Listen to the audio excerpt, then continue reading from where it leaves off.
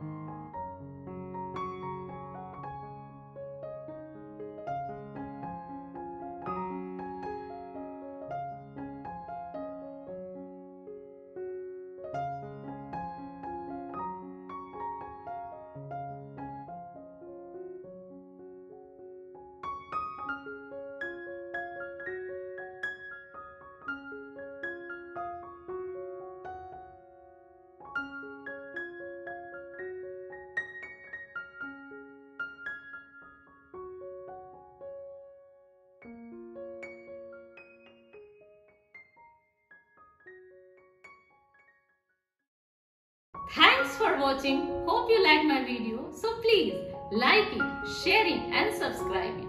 And if you have any queries, please put your valuable comments at the comment box below. See you in the next episode. Bye.